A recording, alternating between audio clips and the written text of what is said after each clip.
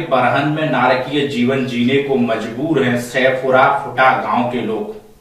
आगरा की तहसील अदमातपुर बरहन पंचायत के गाँव सैफुट डेरा बाज़ार में लोग नारकीय जीवन जीने को मजबूर हैं। लगभग पंद्रह वर्ष से सैफुटा रोड बंजारा में कोई विकास कार्य नहीं हुआ है।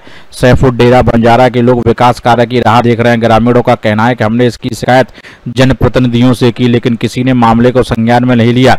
ग्राम प्रधान का कहना है कि मेरे पास अभी समय नहीं है, कार्य करा दूँगा, मिट्टी डलवा लो, लेकिन ग्रामीणों के सामने मुसीबत है कि उनके बच्चे स्कूल जाते समय गिर जाते हैं, बुज़ुर्ग भी वहाँ से निकलते समय गिर जाते हैं। और चुनाव के समय तो लोग बड़ी बड़ी बातें करते हैं, लेकिन चुनाव के बाद कोई भी कार्य करना नहीं चाहता, जिसको लेकर ग्रामीणों में खासा आक्रोश है।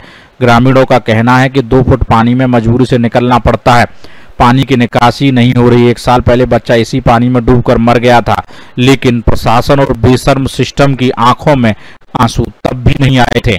और ग्रामीण इसको लेकर खासे आक्रोशित है। अब देखना यह होगा कि समाचार 24 पर इस खबर को चलाए जाने के बाद कब तक प्रशासन अपनी कुंभकर्णीय नींद से जागता है और इस गाँव की सुध लेता है। विजय सोलंकी आगरा समाचार 24 लोला देवी। कहाँ की रहने वाली हो? की। परेशानी? बंजारा। परेशानी है तालाब मेरे घर से लगा है रास्ता है नहीं। रास्ता सब खराब हो रही है। और कहा गया था ढाई साल को मेरा बच्चा मर गया कोई सूचना नहीं कही। प्रधान ने विजय सिंह प्रधान से कही मैं बंद करा दे खुदवाए दे जाए कोई सुनाई ना लगी। तो प्रधान भूदे में है ना उनसे आपने शिकायत की है?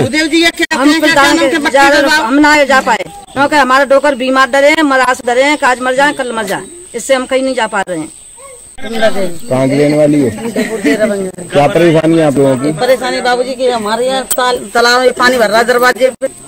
व्यवस्था नहीं हमारे लिए। कब से भर रहा है ये पानी? ये तो कई साल हो गए। प्रधान से किसी से शिकायत की है सब की ये सबसे की विजय सिंह से की अन्नी वर्मा ने सब पानी दे दो वहाँ जा गड्ढे में वहाँ नाथी डूब के मर गो। क्या अब प्रधान से कहा है तो प्रधान क्या कह रहा है? अब भूदेव जी से कहिए तो भूदेव कह रहे मट्टी डलवा दो हम खरंजा करवा देंगे।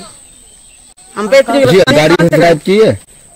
हमारे घर में हमारे जेठ मरे हुए तो कहाँ जाए हम? कहूँ ना जाए? ये स्थिति आपके यहाँ पे कितने दिन से बनी कितने साल से बनी हुई है? कम से कम पंद्रह बीस साल। रघुवीर सिंह। कहाँ के रहने वाले? डेरा बंजारा से क्या समस्या आप लोगों की? सब छोटे छोटे मासूम से पूरे गाँव के बच्चे भी परेशान हैं हम भी परेशान हैं। पानी के चारों तरफ़ व्यवस्था नहीं है कोई प्रधान कोई सुनवाई नहीं करता। कौन सी पंचायत बरहन पंचायत।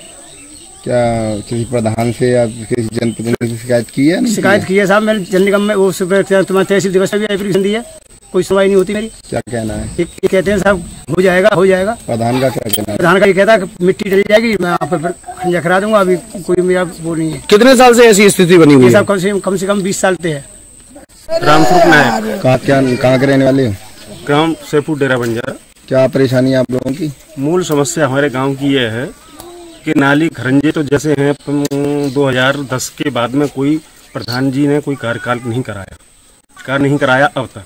समस्या ये हुई कि जो है पानी जो गाँव का जो आता है वो उस पुराने गड्ढे में चला आ रहा है बीसों वर्षों से।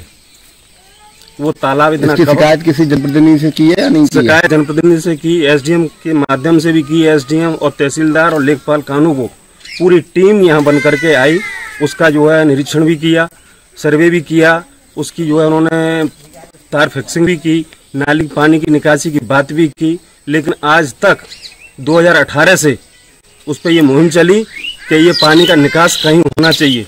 लेकिन आज तक 2018 से आज 2022 है उस 2022 तक आज पानी की स्थिति ये है कि घरों घरों में पानी भर रहा है। वर्तमान प्रधान कोई कार्य वर्तमान प्रधान जी ने इन लोग गाँव के लोग वो गए हैं उन्होंने अभी तक कोई उस पर कोई विचार नहीं किया है। वो गाँव की नीति जो है ये अपना देते हैं कि साहब मिट्टी डलवा दीजिए हम आपको करा देंगे। जबकि ऐसा कोई जियो में ऐसा कोई प्रावधान नहीं है। यहाँ पे ये गंदगी है इसकी वजह से और कोई हाँ ए- ये जो आज जो समय आने वाला अभी तो गर्मी का मौसम है आने वाला भयंकर मौसम होगा। मच्छर कीड़े मकोड़े इतने आएँगे उसे बीमारी इतनी फैलेंगी। गाँव में दहशत पैदा अलीगढ़ में बहन की ससुराल आई महिला के साथ